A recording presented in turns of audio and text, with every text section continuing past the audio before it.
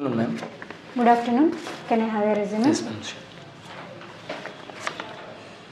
Okay, Murali Krishna, introduce yourself. Yes. My name is Murali Krishna. I am from Khammam. Currently, I am staying in Hyderabad. I completed my graduation at Vijay Engineering College in the stream of Computer Science and Engineering, and uh, I have good knowledge on Java, SQL, and manual testing. Coming to my family background, my family consists of four members, including me, my father, mother, and my younger sister. And uh, in, in my academics, I have done a project on click fraud detection for mobile applications. That's it. Okay, uh, based on your skills, uh, I will ask some technical questions. Okay. What is a package in Java? Package is a group of similar classes and uh, interfaces. Okay. What is string class? String class, it is a predefined class and it is a non-primitive data type which is used to store more than one character value. Okay. How many types of access modifier are there and what are those?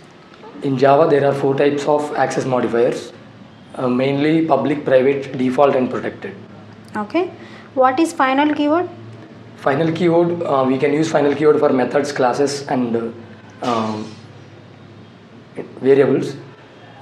Uh, if you use final keyword for variables, we cannot change the variables. That means the, they are constant. And if you use final keyword for methods, we cannot uh, override the methods. And if you use final keyword for classes, we cannot extend the class. Okay. What is the use of wrapper classes?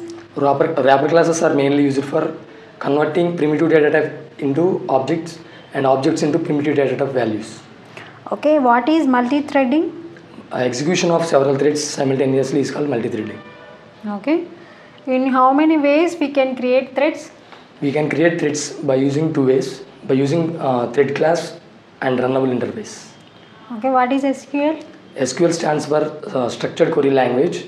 It is used to interact with RDBMS to store, update, delete, etc. Okay. How many types of SQL statements? There are three types of SQL statements, mainly DDL, DML and DQL. Okay. What is DDL statement? DDL stands for data definition language, uh, used, used for creating tables and schemas in database. Okay.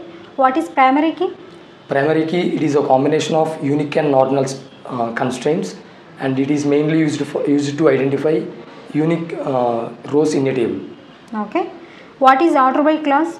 Order by, order by class is used, used to sort uh, rows in ascending or descending order.